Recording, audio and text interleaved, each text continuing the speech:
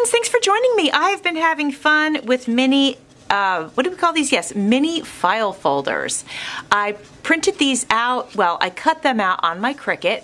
I used double-sided paper and I then used embellishments, as you can see. This one's a big die cut.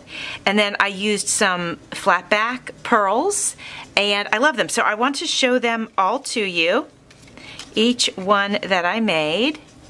Just love how they came out. I'm a little bit addicted to them. I don't know why, because they're mini file folders and miniature anything is just yummy.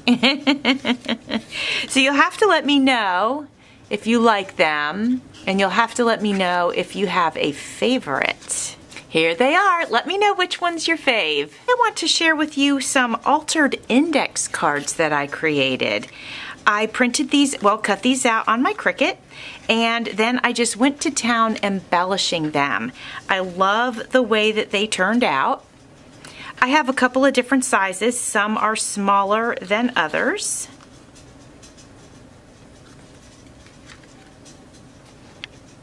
I have a little obsession with these at the moment, so you probably saw that I created some of these during the Gothic Girl collaboration, and it was just so fun that I wanted to make more.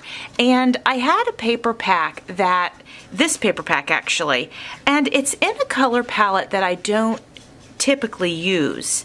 So I thought I wanted to go ahead and use it up and I thought it was just perfect to cut out these index cards with this paper. For me, it's a great way to use these neutral colors, and it's a great time of year to use these neutral colors.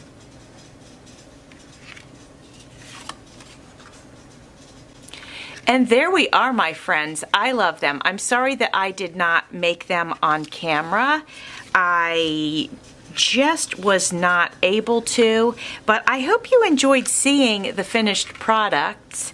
Let me know if you have a favorite. I know there's a lot here and it would probably be hard to choose. See how these are a little bit smaller than the other ones?